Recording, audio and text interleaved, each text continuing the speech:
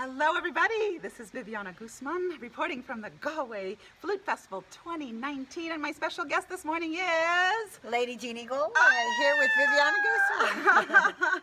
Superwoman, Wonder Woman, No. Queen of the Flute. Oh. How do you do? We just spent uh, 10 days. Yeah. You have so much magnificent energy. I, I, I'm just in awe of how you do it. Thank you. Um, I'm blessed. I'm living my passion. I'm living my dreams. It's like I tell the kids, you know, you live your dream, live your dream and go for your goals. And here I am, you know, able to influence, able to share, able to, um, all I've been given. I mean, I'm married to James Galway. I learned from James Galway and um, give it back. Yeah, beautiful. And on, on top also, you just sounded so beautiful in that opening concert, and then the concert that we shared as well. which I was so sorry we couldn't play together, but it was the rehearsal schedule. Yeah. You know, you have to, and this is what I also try to teach the kids is, is kids, they're not all kids, you know, the, the, the actually the balance. Choosing the balance is a really hard thing, but you have to focus, focus, and for me, my te- my focus is my teaching. But uh, yeah, I think it went really well this year, and I was really, really proud, really proud. What were some of the highlights for you? The highlights were the uh, camaraderie. That's the most important thing. Um, the guest artists were the highlights. Also, the way that it was the right choice of people. They were people that believe in our philosophy, which is sharing, giving back. Um, laughter, lots of laughter was the highlight. La- lots of laughter. The closing tribute concert was great. Uh, the new commissions on Wednesday afternoon, that was a great concert, but too hot. Much Very too hot A lot of the week was hot. and um, also the gift from Gemeinhardt Flutes.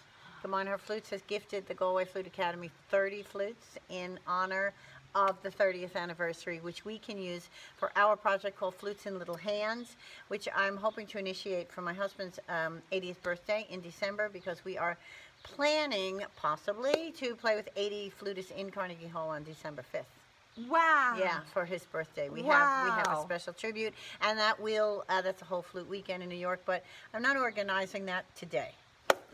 Not yet.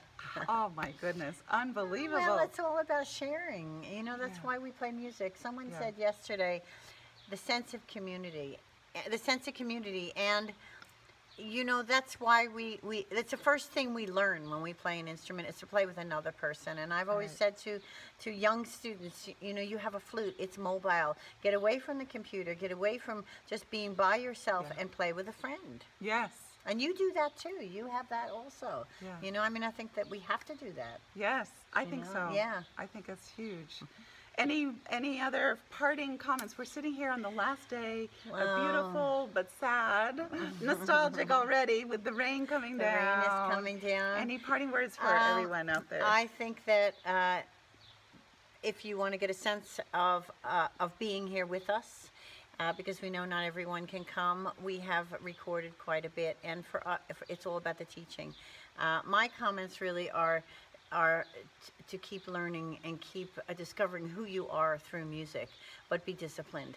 Be disciplined and live your dream, and um, and come see us next year in Weggis, Switzerland. yes, live your dream Yeah. and be disciplined. Yeah. yeah. Perfect, hundred Okay. percent. Okay. Thank you Great, so much. Thank you, Viviana. thank you, Thank you, thank you, you. thank we you. all thank you. Thank you. Bye. Bye. See you next year. Yeah.